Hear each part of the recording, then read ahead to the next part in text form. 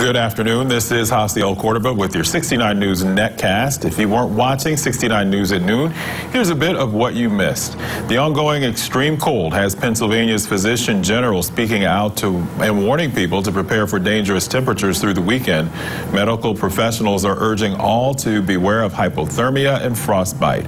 With intense cold, symptoms can begin to take effect in less than 30 minutes. Allentown Mayor Ed Pawlowski reflected on the past and outlined the future in his State of the City address this morning.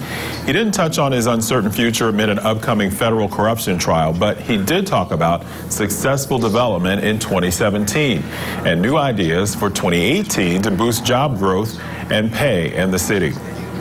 A heavy police presence kept residents from their homes for hours last night in Allentown.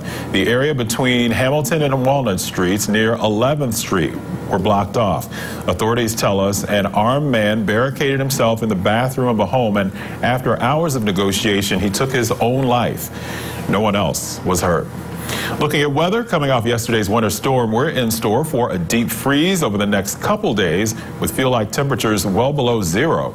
Wind chill advisories are in effect for our area through tomorrow afternoon, and temperatures are topping out in the teens this weekend before we get back into the balmy upper 30s next week.